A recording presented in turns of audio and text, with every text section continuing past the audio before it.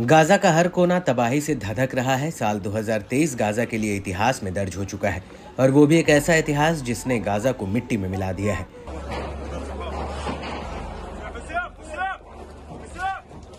Gaza के हर कोने में खंडहर तबाही की गवाही दे रहे हैं। लेकिन क्या ये युद्ध सिर्फ़ गाजा के लिए तबाही लेकर आया है या फिर इसराइल को भी इस युद्ध की भारी कीमत चुकानी पड़ी है?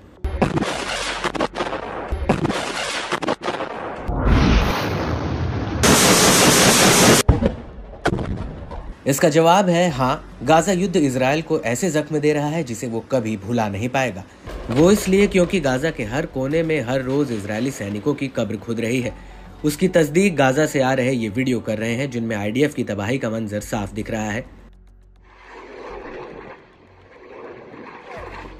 दरअसल, अब अल जैतौन में हमास के लड़ाकों ने एक बैरल आकार वाले आईईडी से इजरायली सेना के एक वाहन पर हमला किया है और ये हमला अलकुत्स ब्रिगेड के लड़ाकों ने किया है, जिसमें आईडीएफ के कई जवानों के मरने और घायल होने की खबर है।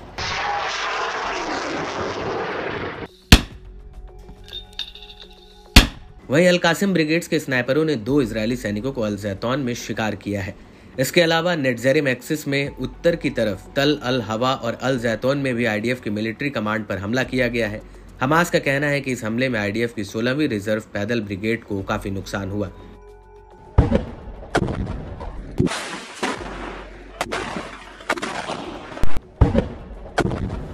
आपको बता दें कि तल हवा में हुए अलकुद्स के हमले का एक वीडियो सामने आया है, जिसमें साफ़ दिख रहा है कि कैसे अलकुद्स के लड़ाके पहले तो अपने हथियार इकट्ठा करते हैं। इसके बाद ये सभी राइफल लेकर एक इमारत में घुस जाते हैं और इसके बाद ये लड़ाके दूर तक बिल्डिंग में तैनात आईडीएफ के एक जवान पर ताबड़तोड़ फायरिंग कर देते हैं।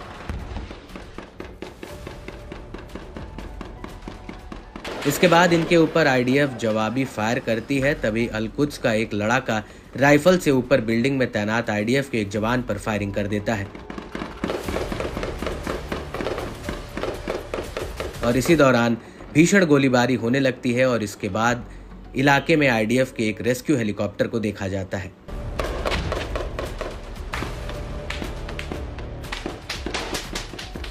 अलकुद्स के इस हमले के बाद दक्षिणी जैतौन में हुए अलकासिम के एक अटैक का भी वीडियो आया है।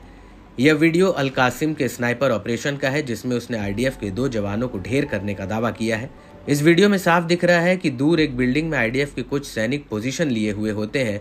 इनमें से एक जवान दीवार में छेद करता हुआ दिख रहा है और इसके तुरंत बाद एक जवान बिल्डिंग की खिड़की पर नज़र आता है और तभी अलकासिम का लड़ाका उस पर फायर कर देता है और इस फायरिंग में खिड़की पर लगी फट्टे जैसी चीज़ नीचे गिर जाती है।